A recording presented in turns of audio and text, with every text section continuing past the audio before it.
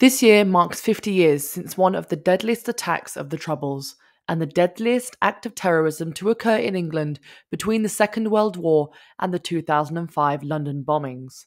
On the night of the 21st of November 1974, two bombs exploded in two Birmingham pubs. The first bomb went off in the Mulberry Bush at the Rotunda, then at the Tavern in the Town in New Street.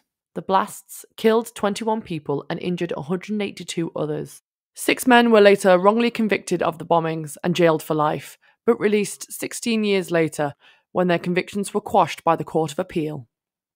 Only a few minutes prior to the attacks, an unknown man with a distinct Irish accent phoned the Birmingham Post and Mail newspaper. The call was answered by operator Ian Cropper. Birmingham Post and Mail. There is a bomb planted at the rotunda. There is a bomb planted in New Street at the tax office. This is Double X.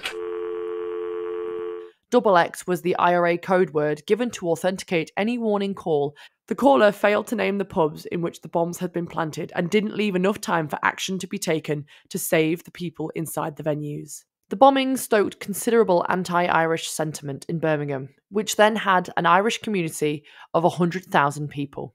Irish people were ostracised from public places and subjected to physical assaults, verbal abuse, and death threats.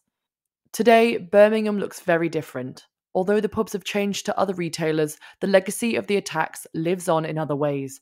Brummies have passed these trees countless times without knowing the significance they hold. These trees, unveiled in 2018, bear the names of the 21 victims killed in the Birmingham pub bombings. In Pigeon Park, this memorial stone bears the names of the 21 victims.